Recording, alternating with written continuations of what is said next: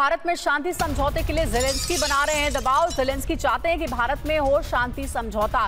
नवंबर में शिखर सम्मेलन का प्रस्ताव रखा गया है।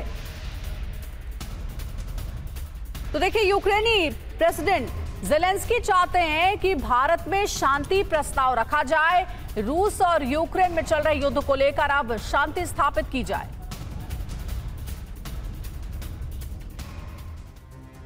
तो जेलेंस्की को भारत से ही उम्मीद है। जेलेंस्की ये चाहते हैं कि युद्ध खत्म करने के लिए जल्द बैठक हो। भारत, रूस से शांति समझौते की पहल करे, जेलेंस्की का ये कहना है। साथ ही पीएम मोदी की अगुवाई में शांति सम्मेलन हो, ये भी जेलेंस्की कह रहे हैं। और साथ ही भारत को शांति सम्मेलन की मेजबानी की पेशकश की गई है। जेलेंस्की की तरफ़ से नवंबर में शिखर सम्मेलन का प्रस्ताव दिया गया। अमेरिका समेत पश्चिमी देशों को भारत से काफ़ी उम्मीद है।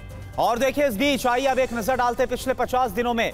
क्या घटनाक्रम हुआ? बिग वॉल का सीधा हम रुख करते और इसके ज़रिए पूरी जानकारी आपके सामने। 9 जुलाई 2024 मोदी का रूस दौरा। प्रधानमंत्री मोदी ने रूस का दौरा किया। पुतिन से कहा यह युद्ध का दौर नहीं है। 9 जुलाई को जब मुलाकात हुई थी व्लादिमीर पुतिन से, तेईस अगस्त 2024 की तारीख 44 दिन के बाद प्रधानमंत्री मोदी का यूक्रेन दौरा होता है। जेलेंस्की से क्या कहा? जब तेईस तारीख को मुलाकात हुई, भारत की भूमिका बड़ी है जिलंसकी की तरफ़ से यह कहा गया है प्रधानमंत्री को। और साथ ही 26 अगस्त को पीएम मोदी की बाइडेन से फ़ोन पर इसके बाद बात हुई है। 26 अगस्त को यूक्रेन में शांति, स्थिरता के लिए समर्थन की बात को प्रधानमंत्री की तरफ़ से दोहराया गया। 27 अगस्त की तारीख, प्रधानमंत्री मोदी की पुतिन से फ़ोन पर। इसके बाद बात हुई, यानी जेलेंस्की से पहले बात और इसके बाद पुतिन से बात।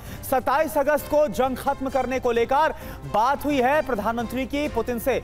जेलेंस्की, जो बाइडेन में इसके बाद बातचीत हुई है कि कैसे समझौता करवाया जाए।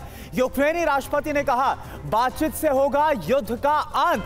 यानी कि यूक्रेनी राष्ट्रपति जेलेंस्की मानते हैं कि अब युद्ध का दौर नहीं, बल्कि बातचीत के ज़रिए समाधान निकल सकता है।